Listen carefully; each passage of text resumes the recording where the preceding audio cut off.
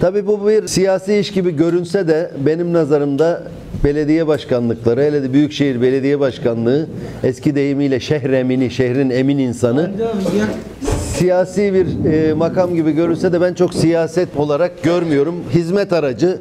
Tabii ki bizler, aday olanlar bağımsız da olabildiği gibi bir partiden de aday olunabiliyor.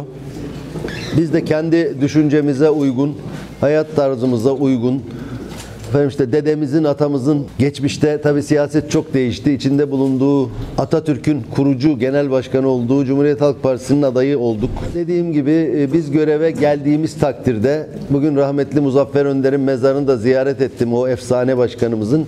Aynı onun stilinde, tarzında seçildiğimiz anda siyasi ceketi kapıda bırakıp herkesi kucaklayan, herkesin belediye başkanı olan oncu buncu şuncu diye bakmadan işini yapana sahip çıkan, toplumla barışık, ulaşılabilir, çözüm odaklı bir belediye başkanı olacağımı sizlere de tekrarlamak isterim. E, Bu şehre ilk belediye başkanından son belediye başkanına kadar kim bir çivi çakmışsa, kim bir tuğla koymuşsa hepsinden Allah razı olsun. Bir hizmettir.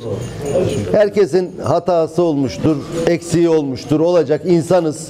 Hatasızlık haşa Allah'a mahsus.